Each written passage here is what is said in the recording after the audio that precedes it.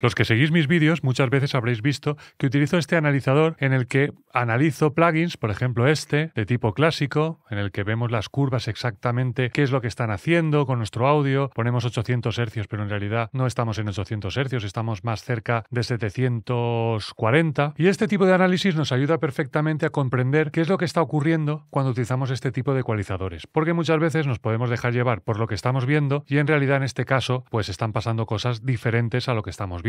Y también es muy interesante porque nos ayuda a trabajar con los oídos. Pero siempre está muy bien analizar y ver realmente qué curvas de ecualización generan este tipo de aparatos. O emulaciones de aparatos en el caso de los plugins. Pues bien, hoy voy a hablaros del analizador que yo suelo utilizar para ver estas curvas de ecualización. Además lo vais a poder conseguir de una forma totalmente gratuita. Vamos a verlo. Pues para conseguir este plugin, que es Curve Analyzer de Bertom Audio, que es la empresa que ha hecho este plugin, pues simplemente nos tenemos que ir a la página web de bertomaudio.com y vamos a ver que tenemos varios plugins que vamos a poder descargar de forma totalmente gratuita. Y además, como son plugins que nos pueden ayudar muchísimo, podemos pagar por ellos y ayudar a que la empresa siga desarrollando plugins y este tipo de herramientas que realmente son muy útiles. Como veis, de todos los plugins que tienen, que son cinco en total, solo uno de ellos es una versión pro en la que hay que pagar sí o sí para conseguir este plugin. Tenéis una versión de prueba que podéis probar y si os gusta, pues lo compráis y si no, pues sin ningún tipo de compromiso. Y como veis, tenemos un supresor de ruido que ya os digo que está bastante bien, pero ya veremos en otro vídeo. Y vamos al plugin que hoy nos compete, que es este, que es el analizador de curvas de ecualización. Simplemente pinchamos en él y desde aquí vamos a poder descargarlos. Lo compramos y ponemos que queremos pagar el precio que queramos. Que queremos pagar un dólar, pues un dólar. Que queremos pagar cero dólares, pues cero dólares. No hay ningún tipo de problema. Y para utilizarlo, algo tan sencillo como esto. Vamos a verlo. Nos vamos a nuestro DAW, a nuestro programa de audio, el que estéis utilizando, da igual, y nos vamos a ir a las inserciones. Vamos a poner el EQ Curve en Analyzer en primera instancia. Después de él podríamos poner el plugin que queremos analizar. En este caso yo tengo espacio porque hay otro tipo de análisis que también suelo realizar